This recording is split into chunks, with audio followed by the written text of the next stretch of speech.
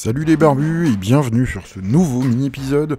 Aujourd'hui, je vais essayer de me faire des manchons pour la couture en utilisant des morceaux de cuir que j'ai récupérés.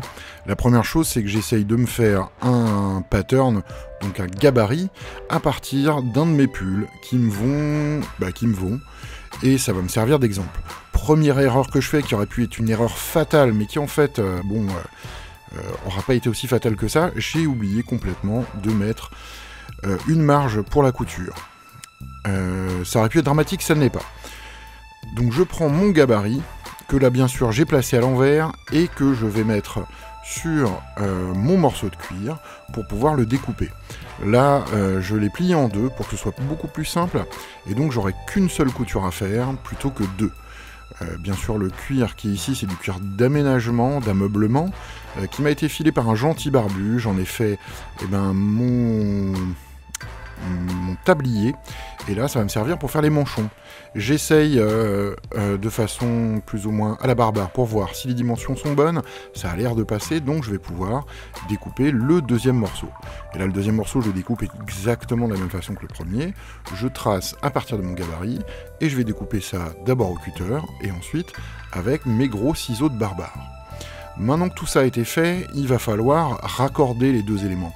Et là, je vais piocher un peu dans ma réserve à trucs bizarroïdes pour la couture que je récupère sur des sacs, sur des éléments à droite à gauche, et je trouve pile poil ce qu'il me faut, une boucle avec déjà une sangle. Donc j'utilise du double face pour pouvoir positionner les différents éléments qui ensuite vont être cousus. Euh, donc c'est des manchons qui vont servir pour la soudure et qui vont venir en complément de mon tablier la première chose à faire, c'est bien sûr de coudre euh, les différentes sangles sur mes deux futurs euh, manchons pour la soudure. Et là, j'utilise la méthode du carré X, entre guillemets, pour euh, pouvoir attacher mes sangles sur mes futurs manchons. C'est relativement simple. On fait une première couture avec les trois premiers côtés d'un carré et ensuite on vient tracer les diagonales et on finit par plusieurs allers-retours sur la sangle. Ce qui devrait pouvoir justement donner suffisamment de force à la sangle et de ne pas se casser et de rester bien en place.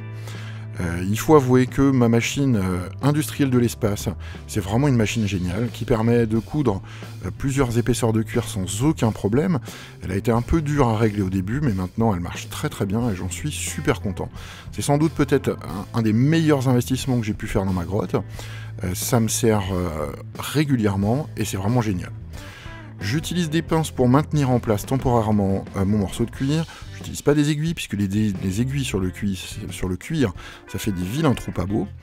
Euh, et je peux coudre tout simplement mon manchon euh, et le transformer d'un truc plat en un truc bah, qui va me permettre euh, de les mettre. Et voilà, c'est aussi simple que ça. Et voilà, donc j'ai réussi à faire mes super manchons pour la soudure et j'en suis très content. Je ne les ai pas encore essayés, mais ça arrivera dans les prochaines semaines.